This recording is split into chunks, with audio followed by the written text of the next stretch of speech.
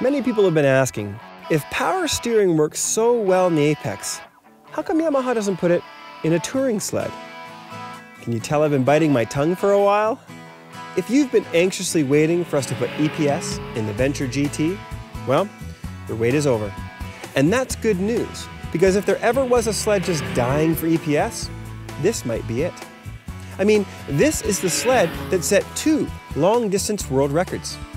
There isn't another sled that is designed for such mega miles as the RS Venture GT.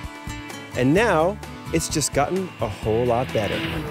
Already a high performance touring sled with its 1049cc four stroke engine producing tons of torque and the 144 inch Pro Comfort suspension soaking up all the bumps, an RS Venture can be a formidable sled to keep up with.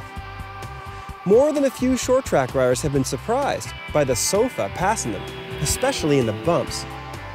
And with its hugely comfortable seat and tall windshield, this really is a sled for big, big miles. But like the old Vector, at lower speeds, the steering effort on the Big Venture could get a little much, but not any longer.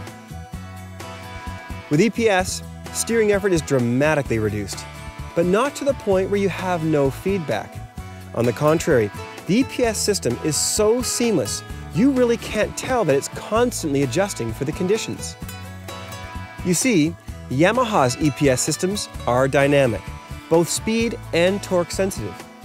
You get more assist at low speeds when you need it, and less at high speeds when you don't. But not only that, these systems are sensitive to the rider's steering inputs. For example, if the snow is deep or wet and sticky, it takes more effort to turn the bars. But Yamaha's EPS system instantly senses your increased effort and applies more assist right when you need it. That's the most brilliant part about the electric power steering. It makes the sled easier to ride at low speeds and provides more confidence at higher speeds, regardless of the snow conditions. But steering effort is only part of the equation, something that was typically a limiting factor in suspension design. But with power steering, the geometry of the sled can really change to allow flatter and more accurate handling, something that can really be appreciated riding two up. And isn't that what an RS Venture is really all about? Still skeptical? Well, maybe you should take one for a ride. You know, find out for yourself. Or better yet, take someone for a ride. Who knows? Maybe you'll set the new long distance record.